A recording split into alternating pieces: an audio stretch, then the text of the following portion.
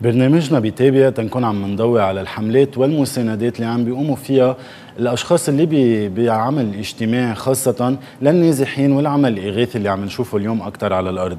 بهذا النطاق رح نحكي عن حملة دعم اللي قامت فيها الجامعة الحديثة للإدارة والعلوم وبالتحديد قسم العمل الاجتماعي بالجامعة اللي هو تحت عنوان سوا نحن أقوى مع أمل هواري رئيسة قسم العمل الاجتماعي بالجامعة الحديثة للإدارة والعلوم. أهلا وسهلا فيك أمل. صباح الخير ميرسي أهلا فيك. أول شيء يعطيكم ألف عافية. دائما نعرف يعني الشغل الشغل بالعمل الاجتماعي قد إيه بيكون مهم ولكن اليوم عم بيشوفوا مش بس مضاعف ضرب عشرة أكثر كمان عم بيكون وعم بيأثر كثير حيلا مساعدة عم بتكون على الأرض. اليوم بدنا نحكي عن حملة سوا نحن أول اللي قمتوا فيها اللي بعدكم مستمرين فيها اللي كمان هي عم بتكون لمساندة ودعم النازحين. خبرينا أول شيء كيف طلعت هيدي الفكرة تبع الحملة وشو هي الحملة أساسا؟ okay.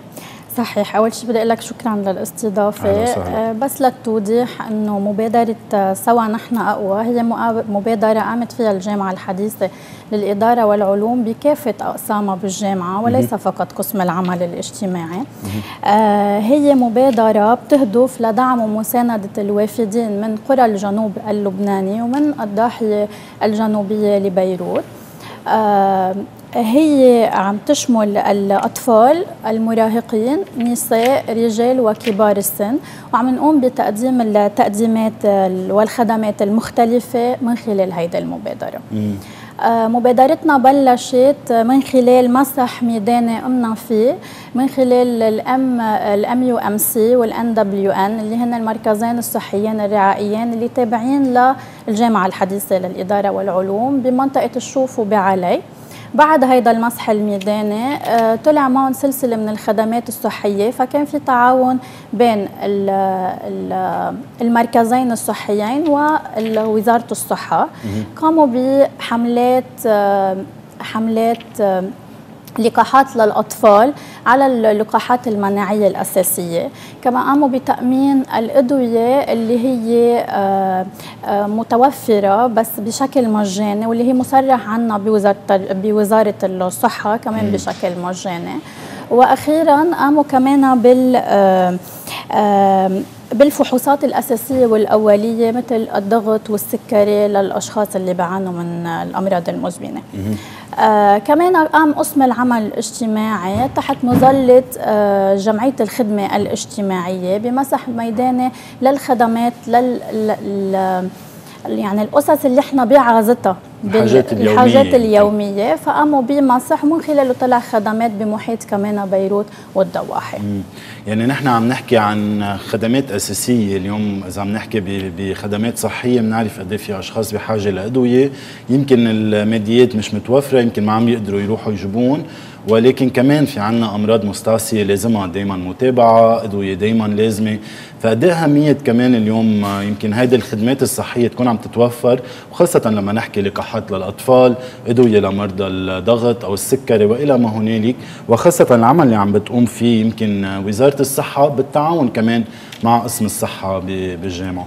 صحيح كثير مهم نكون عم نقدر نأمن هول الحاجات الموجودة لأنه الحاجة كثير كبيرة مم. والحاجة موجودة ل يعني مش ل...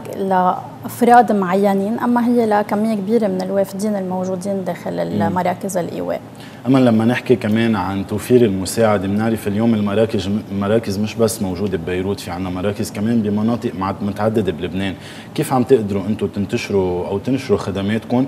وأي مناطق تقريبا عم تقدروا توصلوا صحيح. نحن عم ننشر الخدمات تبعنا عبر الفروع الجامعة الحديثة للإدارة والعلوم الستة بمحيط بدارو دامور رشيا علي جل الديب والسمقانية آه وعم نكون عم نقدم هيدي الخدمات بالمراكز الرعائية والإيواء القريبة من هيدي المنطقة. يعني عم تقدروا تكونوا موجودين حدا توصلوا لها تقدروا تساعدون فريق العمل موجود بكافة الفروع فأكيد عم نقدر نوصل لهم خبرتينا كمان أنه كان في تعاون مع وزارة الصحة كرمال تأمين الأدوية كرمال تقدروا تعملوا شوية إحصاءات على هذا الموضوع. صحيح. خبرينا وين صار في تعاون كمان أكثر إن كان مع جهات رسمية يمكن غير جمعيات حدا عم يقدر كمان يكون عم صحيح. يساعد. أنا خبرتك إنه نحن عندنا رؤية أمل vision of hope اللي هي بظل الحرب هلأ الإسرائيلية اللي نحن عايشينها والتضرر اللي صار للأشخاص من خلال البيجرز اللي صارت واللاسلكي يعني الانفجارات اللاسلكية اللي صارت للأجهزة والضرر كثير من الأشخاص بعيونهم.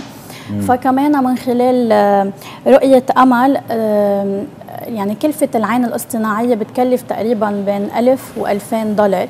فكرمال هيك كان عنا آه، قامت كلية الصحة بالتعاون مع الاتحاد العربي للمهن البصرية بإطلاق حملة إغاثة إنسانية لنكون عم نقدر نوفر الكلفة المالية اللي هي ما كل الأشخاص قادرين يكونوا عم بيوفروها لنقدر ندعم المتضررين بعيونهم يعني هي vision of hope كمان حملة من الحملات اللي هي محور من محاور اللي الحملة تبعتنا اللي هي سوا نحن أقوى. هلا نحن بنعرف أمل يعني يمكن الحاجات عم تتكاثر وشوي شوي عم نفوت يمكن على أبواب الشتاء وأكيد الخدمات الصحية بدها تتغير لأنه بكره رح يبين أمراض كثير يمكن البرد بيعمل جريبات كمان أمراض بتنتشر وأمراض كمان تعدي.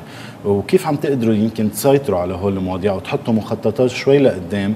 نحن دائما بنقول على أمل إنه تخلص المشاكل أقرب وقت ممكن ونرجع على أراضينا وبيوتنا.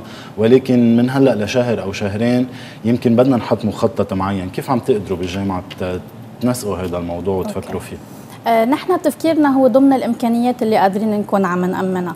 فلوحدنا أكيد ما بنقدر نكون عم نقوم بهيدا الشيء وخاصة بنرجع بنقول إنه الوافدين هن أعدادهم كثير كبيرة وهيك موضوع بده خطة وطنية يعني مم. مش خطة أفراد معينين أو جامعة تكون عم بتحط لوحدها هيك خطة.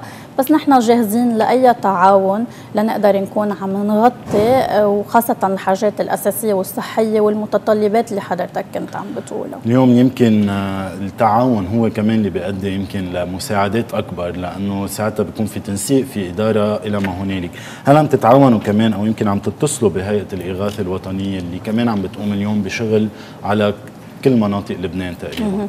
okay أنا رح خبرك عن كمان محور من محاور الحملة. تبعيتنا هي إنه كأقسام قسم العمل الاجتماعي كمان تحت مظلة آه، الجمعية الخدمة الاجتماعية قمنا بحملة للتبرعات. وصلنا على كل مراكز كمان فروع ال MUBS الست اللي خبرتك already عنهم. كل شيء خاصه بالأغذية الحرامات لحف ملابس قام فريق العمل بتصنيفها حسب الفئات العمرية وبفرزها. وقدرنا وصلناها لمراكز الإيوائية يعني لبعض المدارس وبعض البيوت اللي فيها آه، الوافدين آه، موجودين. يعني كمان عم تقدروا قد ما فيكم تكونوا عم بتوزعوا هول يمكن الحاجيات بطريقة مناسبة صحيح. لكل المراكز. صحيح. ولأنه نحن كمان قلنا من بنفكر وبنعرف إنه الحاجات منا فقط الحاجات المادية والمالية كمان قمنا بأقسام الجامعة آه، قسم كلية الصحة قسم التربية وقسم العمل الاجتماعي آه، بالمدارس الإيوائية بنشاطات للأطفال. نشاطات أطفال من عمر 5 ل 12 سنة مراهقين بين 13 ل 18 وللأمهات لدعم صحتهم النفسية من خلال الأنشطة التفكير الإبداعي والأنشطة الثانية اللي عم نعملها. أما خلينا نحكي شوي عن الصعوبات أو التحديات كمان اللي بتواجه الأشخاص لأنه عم نشوف كثير أشخاص بدها تساعد يمكن في جمعيات بس عم نواجه كثير تحديات. أكيد في يمكن التحديات لجمع التبرعات والتحديات المادية ولكن شو بتصنفي الصعوبات يمكن اللي عم تقدروا أو عم تواجهوها أنتم وقت تكونوا بدكم تقوموا بهذا العمل؟ أكيد الصعوبات بأي عمل هي موجودة وخاصة بالأعمال الإنسانية والأعمال الميدانية. صعوباتنا إنه ما في خطة وطنية محطوطة مضبوطه لاستقبال الوافدين بشكل مضبوط ومراكز الإيوائية هي بعدها مراكز فينا نقول إلى حد ما منا مؤهلة للاستقبال ونحن عبواب شتاء. يعني هلأ نحن عبواب في أشخاص في أشخاص كثير كمان منهم بمراكز إيواء في أشخاص بعدها كمان على الطريق موجودة. فأكيد في صعوبات كثير كبيرة بس بالجهود الموجودة على الأرض اللي عم تحاول كل يعني كل الفعاليات والجامعات والوزارات وبمبادرات شخصية عم بيحاولوا إنه نكون عم نقدر نساعد إلى حد ما وضمن إمكانياتنا. هل عم تقدروا تتواصلوا مع عيال أو أفراد موجودين ببيوت مش بمراكز إيواء؟ لأنه بنعرف يعني كمان قد ما في أشخاص بمراكز إيواء ومدارس و حيلا حيلا محل كان. في عنا قدهم يمكن على بالبيوت مستأجرين. كمان ما عم يمكن يوصلوا مساعدات مثل ما لازم. يمكن عم بيقدروا هلأ يقوموا بتغطية التكلفة تبع الحاجات اليومية بس يمكن بعد شهر كمان ما يقدروا. كيف عم تقدروا كمان تكونوا عم بتنسقوا أو تديروا هذا الموضوع؟ آه نحن آه بهيدا ال part اللي عم تحكيه تقسمنا لقسمين. في قسم من تلاميذنا اللي هن آه كانوا ك volunteers راحوا مع آه نقابة الاختصاصيين بالعمل الاجتماعي بلبنان وكمان بالتعاون مع الوزارة. نزلوا as volunteers على يعني على المدارس المراكز الإيوائية بالمدارس ليكونوا عم بيعملوا كمان مسح للاحتياجات الموجودة. و آه، تأمين بعض الحاجات أو الخدمات الاجتماعية اللي قادرين يكونوا عم بيقوموا فيها. هذا بالنسبة للمراكز الإيوائية اللي بقلب المدارس. مم. كمان قدرنا توجهنا من خلال الجامعة وقسم العمل الاجتماعي وجمعية الخدمة الاجتماعية لبيوت أشخاص موجودين. من خلال كمان المسح الميداني عرفنا وين موجودين. أكيد لجزء كتير صغير ولا يتجزأ من الأشخاص الموجودين. عم نقدر نكون عم نساعدهم إن كان بملابس بحرامات ببطانيات مخدات التغذيه أحيانا. اليوم يعني عم نحكي كمان عن واقع كتير صعب وواقع كتير غير مستقر. يعني بنعرف قد إيه كل شغلة معقول تكون عم بتساعد حيلا شغلة معقول حدا يقدمها أو يكون عم بيساهم فيها كمان بتكون عم بتقدم مساعدة كتير كبيرة لهول الأشخاص. ولكن اليوم عم نحكي عن جامعة كمان ورح يرجع يمكن الشغل بالجامعة. كيف رح تقدروا تخلوا هذا العمل الإنساني والعمل الإغاثي كمان ماشي بطريقة مع آه، العمل اللي عم بتقوموا فيها عادة يعني بالجامعة إن كان تربوي أو إن كان إداري وإلى ما هنالك. فريق العمل عنا يعني عم بفكر بموضوع الأكاديمية. أكيد نحن بلشنا أكاديميا لأنه في تلاميذ بدها تكفي بدنا نكون عم نكفي لنقدر نكفي حياتنا طبيعي.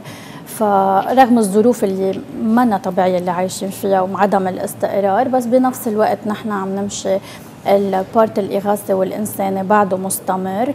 آه، فروعنا كمان بعدها مفتوحة لكل أنواع المساعدات اللي عم توصل وفريق العمل عم بيكون عم بيشتغل عليها وعم نشتغل à part أكاديميا وال part الإنساني لأنه هو داخليتنا وهو رسالة من رسالات الجامعة.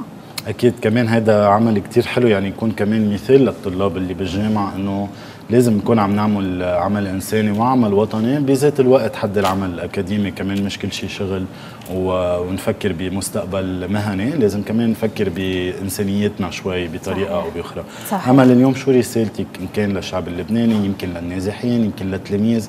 حيلا حدا بتحب توجه له رسالة عبر شاشه التلفزيون آه نحن شعب صامد. ونحن شعب عم ببين قديش نحن آه، سوا نحن أقوى.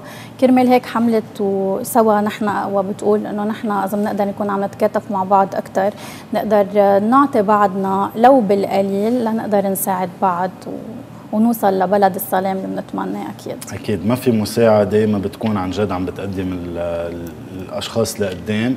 ما في شيء بيروح ضيعان لو بنقول ما بنقدر نساعد لا بنقدر يمكن بتليفون بنقدر نساعد. صح. ميرسي كثير لك أمل هواري وبدي وجه تحية لكل الأشخاص المتطوعين كمان اللي عم بيكونوا بيساهموا بحملة سوا نحن أقوى. لأنه عن جد اليوم نحن بحاجة لهذا العمل بحاجة لهذا الضمير والإنسانية. وبعتقد هذا يمكن المثال أو صورة اللبناني اللي بدنا نبينها للعالم ميرسي كثير لك أمل هواري رئيسة قسم العمل الاجتماعي بالجامعة الحديثه للاداره والعلوم ويعطيكم ألف ألف عافية. الله يعافيك. thank you استراحة قصيره وبنكمل